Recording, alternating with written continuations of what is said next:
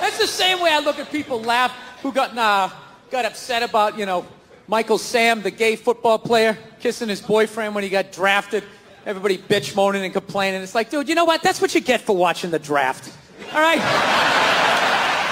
Now, once again, what kind of a fucking loser just sits there watching round after round? The Jets are up next. I think they need a cornerback. They need, they need to improve the defensive line. Dude, that's like, that's like going to a graduation ceremony where you don't know anybody who's graduating and just fucking sitting there.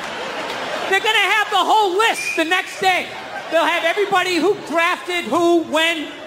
Fucking gotta sit there and watch that shit. The stupid interviews. Hey, you're a member of the Buffalo Bills. Uh, how does it feel?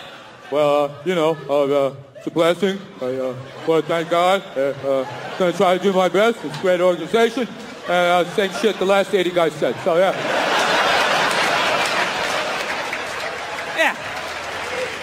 I'm glad he kissed him. He should have fucking blown him. Yeah. With birthday cake in his mouth and a Santa Claus hat on his head. Just to ruin the entire year. Holding a flag. That fucks up Flag Day. You'll keep thinking about it.